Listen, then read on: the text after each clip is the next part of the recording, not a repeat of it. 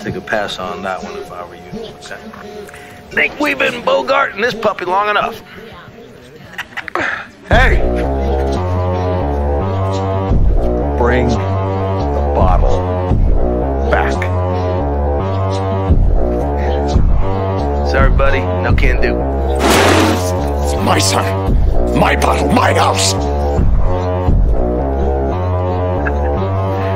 It's all right. What are you waiting for? Bring it back.